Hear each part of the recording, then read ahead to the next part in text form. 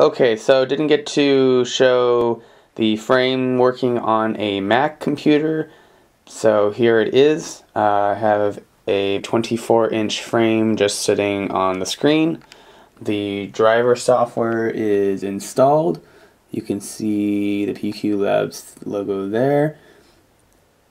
The service tab shows that it exports TUI, Flash TUI, and then sends the events to the desktop. You can turn them on or off if you want.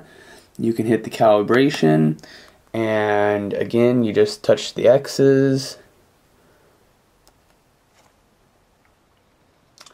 And it's calibrated. The other tab here is a rescale that resets the settings so that you can relaunch the frame software.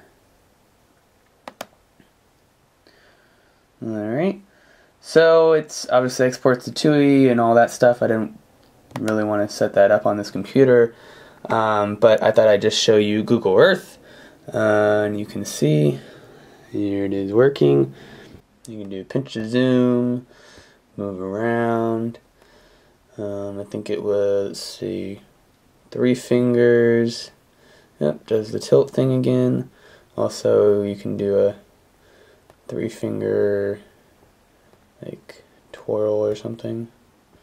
There you go. Still figuring out. Don't use Mac very much.